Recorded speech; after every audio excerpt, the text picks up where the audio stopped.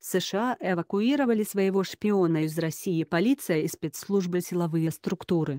Американским агентом мог оказаться бесследно пропавший высокопоставленный чиновник 1.1 о секретной операции сообщили источники в администрации Дональда Трампа в понедельник, 9 сентября. Источники в администрации американского президента Дональда Трампа сообщили CNN о ранее неизвестной секретной миссии, которая была завершена в 2017 году. По данным анонимных сотрудников администрации, США эвакуировали из России своего главного шпиона сразу после того, как Трамп принял в овальном кабинете российского министра иностранных дел Сергея Лаврова и Сергея Кисляка, который на тот момент занимал должность посла России в США. По данным CNN, речь шла об источнике наивысшего уровня в российском руководстве, а решение эвакуировать его из России якобы было принято в связи с опасениями, что американский лидер и некоторые сотрудники его администрации могли способствовать разоблачению ценного агента. Фото. Ларри Даунинг, Reuters. 2.2 Вашингтон лишился наиболее ценного агента в России, как пишет CNN. На той встрече в овальном кабинете Трамп, Лавров и Кисляк обсудили ситуацию в Сирии и разведданные, касающиеся их запрещенная в России террористическая группировка «Исламское государство». При этом Трамп якобы раскрыл российским коллегам секретные сведения, предоставленные Израилем. Они были столь важны и секретны, что, как пишут источники газеты Washington Post, американские спецслужбы не разглашали их в полном объеме даже союзникам. Кроме того, спустя несколько месяцев президент США провел переговоры с российским лидером Владимиром Путиным, после чего забрал записи переводчика, также вызвав подозрения у сотрудников разведки. В. CNN указали, что США остались без одного из своих ключевых источников информации о работе кремлевской администрации и планах российского руководства. Собеседник издания в американской разведке подчеркнул, что разработка аналогичного суперагента займет много времени, так как в России крайне высокие требования к безопасности.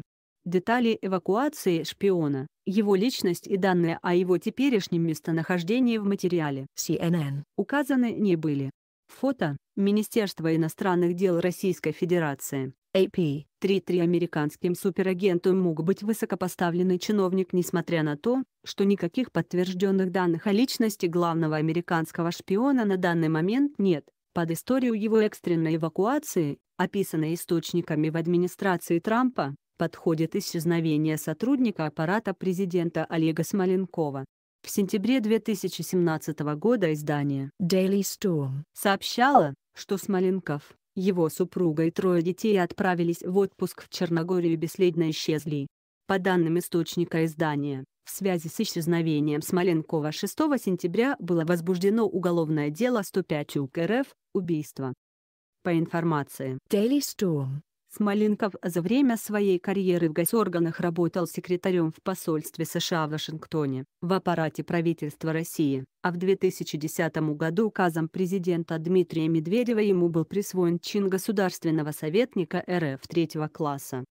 Как установило следствие, 14 июня 2017 года семья покинула свою квартиру в доме на Каргопольской улице в Москве, Вместе с Олегом Смоленковым в Черногорию отправилась его супруга Антонина, находившаяся в отпуске по уходу за ребенком.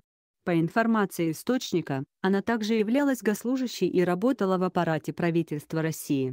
С собой за границу Смоленковы взяли троих детей, дочерей двух и семи лет и 13-летнего сына, который был прописан с ними по одному адресу в Москве.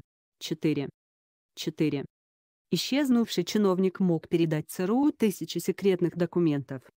По данным ленты.ру, Олег Смоленков действительно выехал с женой и тремя детьми в отпуск. Якобы в Черногорию его хватились только после того, как он без объяснения причин не вышел на работу в июле 2017 года.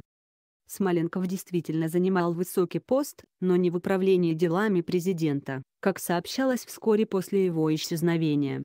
Любопытно то, что звание государственного советника юстиции три класса соответствует воинскому званию генерал-майора, Смоленкову присваивалось дважды, 24 декабря 2008 года как главному советнику, причем без указания департамента, в котором тот проходил службу, и 4 февраля 2010 года как референту Департамента военно-промышленной комиссии правительства Российской Федерации, комиссия реализует государственную политику в сфере оборонно-промышленного комплекса, военно-технического обеспечения обороны страны, безопасности государства и правоохранительной деятельности.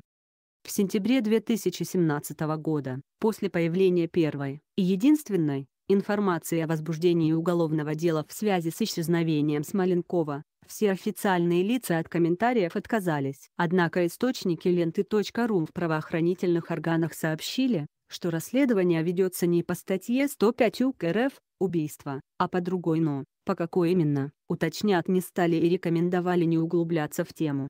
Дональд Трамп фото, Эван Вазай, AP. 5.5 в МИД России данные об эвакуации американского шпиона назвали паранойей вскоре после публикации. CNN. Высокопоставленный чиновник МИД России назвал ее бредом. По его словам, комментировать информацию об очень ценном агенте сложно. Это пусть ЦРУ подтверждает или опровергает. А вот что касается встречи Лаврова и Трампа, то такого бреду CNN еще не придумывала, пояснил чиновник пожелавший сохранить анонимность. Он подчеркнул, что опубликованная информация чистой воды паранойя. Игорь Надеждин Владимир Шарапов